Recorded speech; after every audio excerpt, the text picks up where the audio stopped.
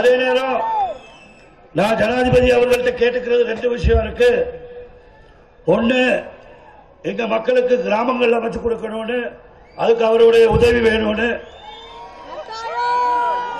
your excellency I have to request from you we need your assistant to form villages in the estates because our are are now educated and they want to. விஷயம் கேட்க போறேன். அதுல எத்தனை பேர் கை தூக்குவேன்னு பார்ப்போம். தோட்டப்புறத்துல இருக்க பார் எல்லாம் மூடியே ஆகணும். Your this is the answer for to close down bars in the plantation. மேல உள்ளவங்க கை தூக்கலாமே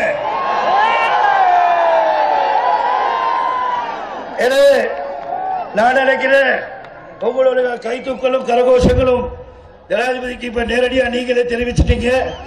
ஏன்னா பல மகளிர் வந்து என்கிட்ட சொல்லியிருக்காங்க. வாரம் மூடுங்க மூடுங்கன்னு. நானும் ஜனாதிபதியில டெய்லி போய் சொல்லுவேன். இன்னைக்கு நேரடியா அவருக்கே சொல்லிட்டோம். இந்த ரெண்டு பிரச்சனையும் ஜனாதிபதி அவர்கள் நிச்சயமாக நம்மளுக்கு தீர்த்து கொடுப்பார்.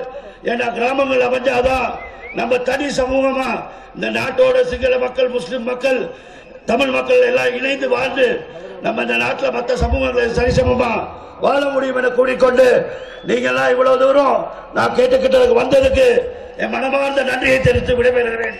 நன்றி